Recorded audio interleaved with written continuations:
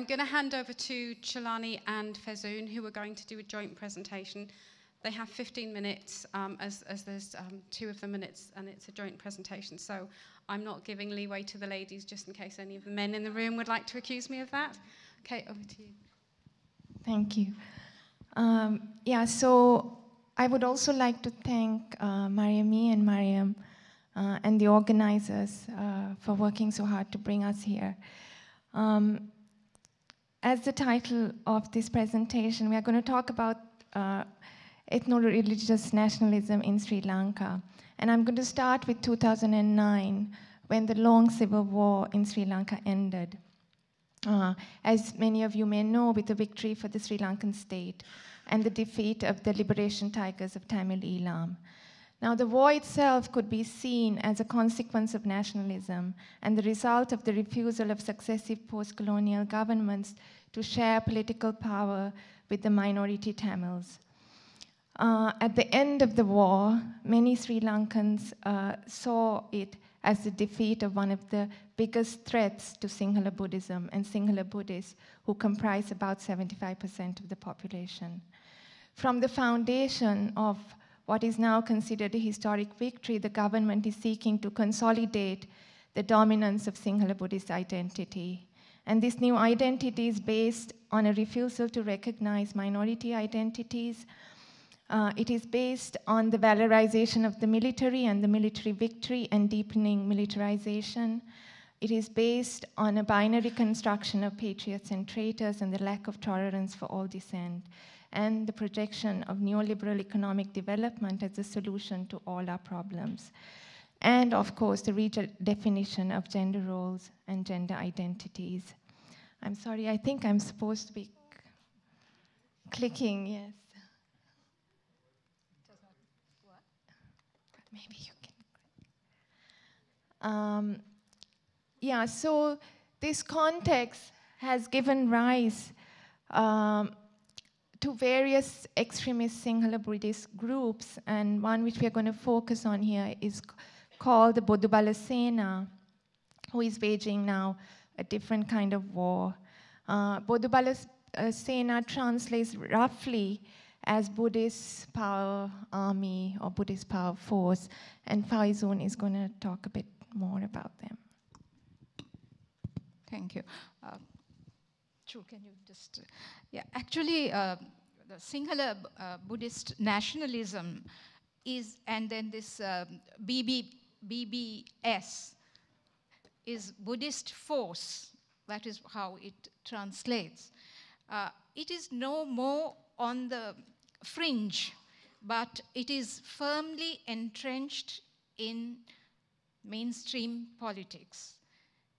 And the deep rooted perceptions that Muslims will endanger the Sinhala ethnic.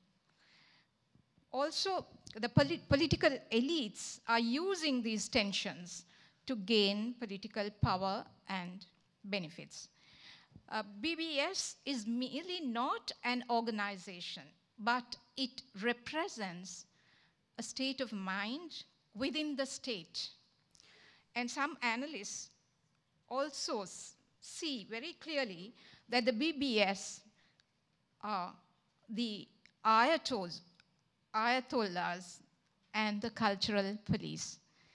So what I can, uh, these are, uh, since, uh, uh since 2009, there was collective violence that was escalating. Attacks uh, not only Muslims, but also Christians, human rights, uh, civil society organizations, but recently, against Muslims, it was systematic intimidation, threats, targeting uh, mosques, shops, business enterprises. And in 2000, uh, 2014, June, was this uh, attack. Uh, actually, um, uh, together with the kind of uh, direct attacks, there is violence and hate campaign in the social media also, which is continuing. Um, in, in the 2000, can we, the, I'm, I'm just uh, running to the next. Uh, Okay. The, the claims of BBS is, I think, important to mention here. Uh, there are uh, two or three which I would uh, mention here which will be useful. One is the whole um, halal certification on food.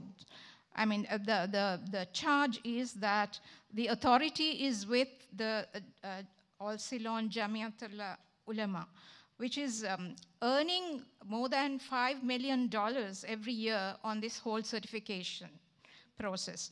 So what the BBS is saying is that this is an attempt by Muslims to impose their ways and their God, and that it is part of a larger plot to control and monopolize market unfairly, because in fact, they are uh, forcing Sinhala uh, consumers to subsidize Muslim religious activities and through that funding their extremism. And they have also very directly mentioned that channeling funds uh, to Al Qaeda, to Hamas, to and all the jihadis.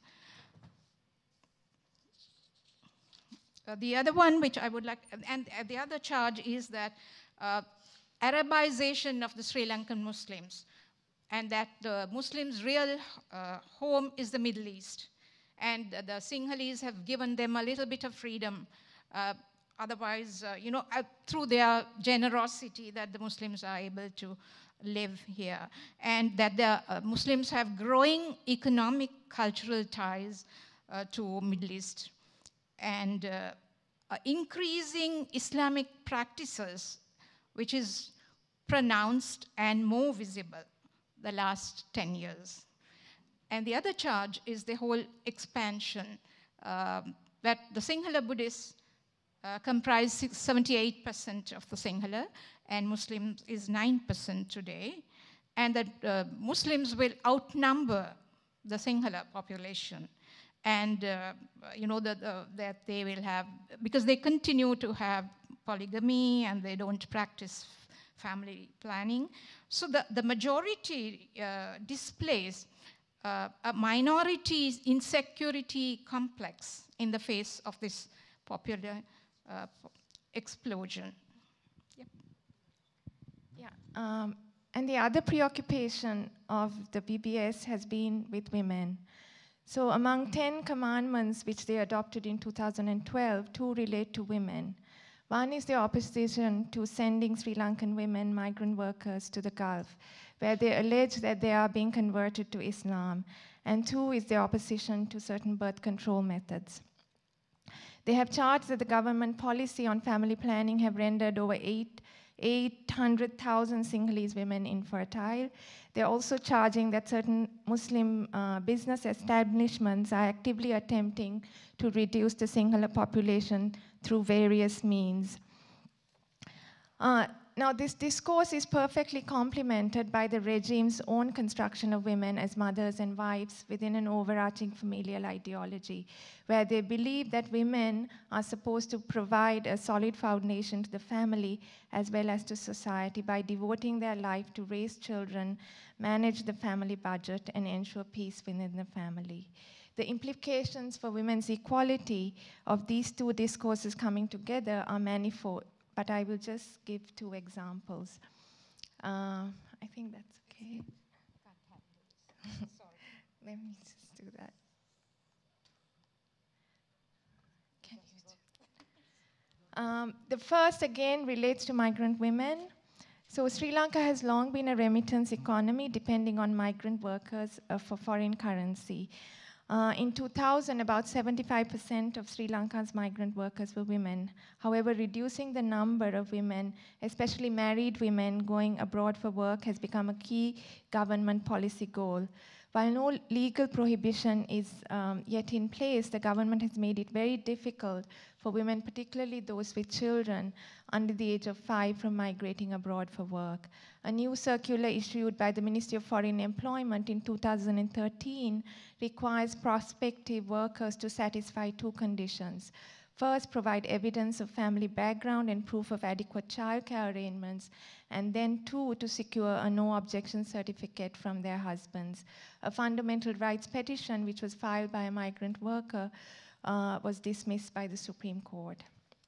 The second relates to uh, the pushback in relation to family planning and reproductive rights, where women are now being constructed as bio- biological reproducers of the nation. To begin, in September 2007, the government closed down all abortion clinics, uh, which had been allowed to function in Sri Lanka for decades, even though abortion is a crime under the law. Um, and then in March 2013, following protests against family planning organized by the likes of the BBS, uh, the Ministry of Health also sent a circular to government hospitals and private institutions from providing all irreversible birth control methods, uh, while also banning NGOs from the provision of sterilization services.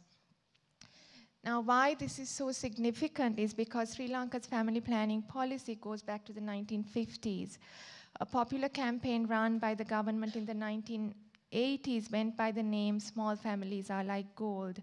As a result, Sri Lanka's fertility rates uh, have been uh, uh, very low. So, this narrative of imminent extinction has also given rise to incentives that are being offered both by the state and non state actors for larger Sinhala families. Um, because uh, one of them uh, is implemented uh, by the government, offers rupees 100,000 uh, to uh, cash benefits uh, to the police and to the army who have a third child. Since the military and the police are overwhelmingly Sinhalese, this is clearly a way to increase uh, the Sinhala population. Conversely, there are also reports that minority Muslim women are being forced to use birth control. Now, however, Sinhala Buddhist nationalism is not new. The post colonial history of Sri Lanka is a history of the state increasingly identifying with Buddhism. In, it, uh, in fact, it was the 1972 constitution which first gave foremost place to Buddhism. Before and after that, we've had many laws and policies which have privileged the majority community and discriminated against the minority. Uh, the first, actually, the first riots against Muslims goes back to 1915. Uh, and perhaps the most well known is uh, the pogrom against Tamils in 1983, which pre- precipitated the war.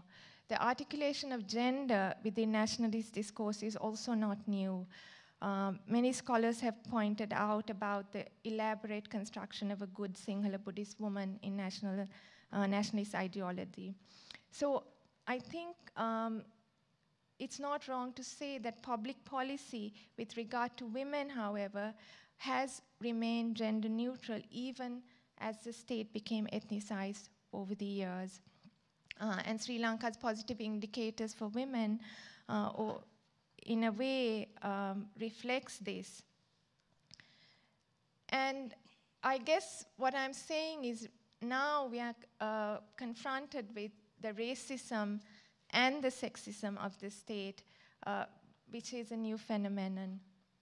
Uh, and there are also some other elements which are new. One is the way the BBS is um, working hand in glove with the state, I think, which is quite unprecedented.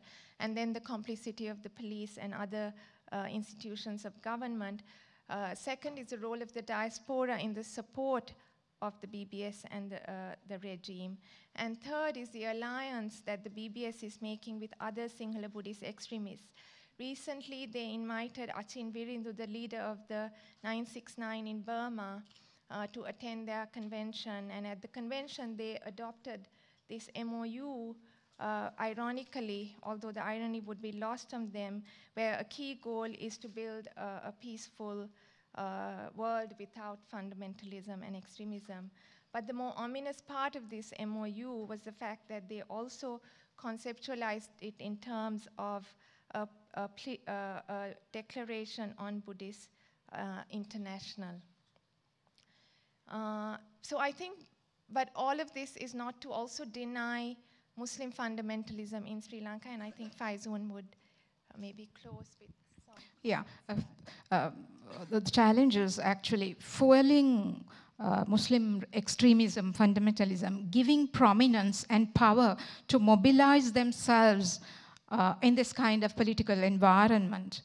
um, because uh, the, the trend of ethnicity-based mobilization creates and aggravates vertical divisions between different identities.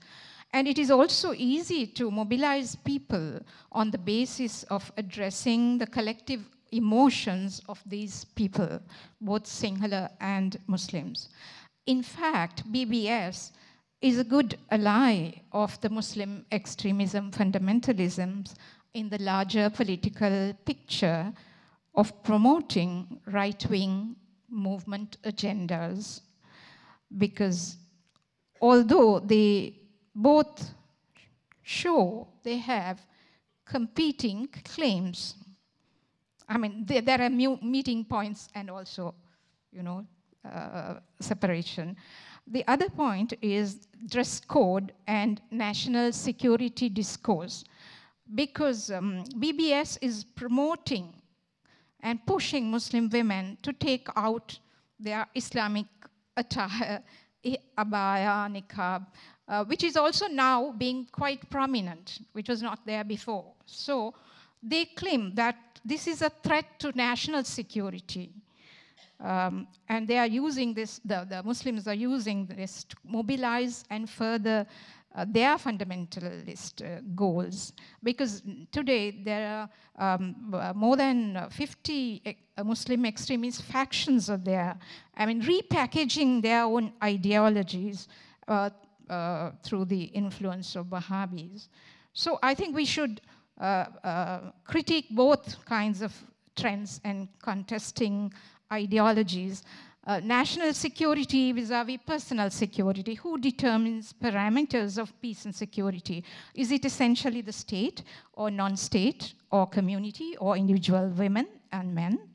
So who is going to protect citizens and affected people? So what is important is the distinction of state as a guarantee of equality before the law and the state as an instrument of the majority community which can refuse full equal and civil and political rights to minority communities. It also raises the legitimacy of the state itself. So in, uh, if we extend this further, submerging individual multiple identities into an overarching ethnic identity and culture creates serious issues for the individual, especially for women, uh, on their moral autonomy, human rights, as it reinforces political, uh, patriarchal and authoritarian uh, uh authoritarianism within the community. So as activists, we are trying to develop a new culture, a political culture and vision that transcends the majority and minority complex. And pigeonholing you know, people into uh, cultural stereotyping. And what we need is a political culture that is citizen-led, demanding justice and meaningful democratic governance. So we strongly believe that there is strength in our collective struggle and solidarity to push our agendas. Thank you.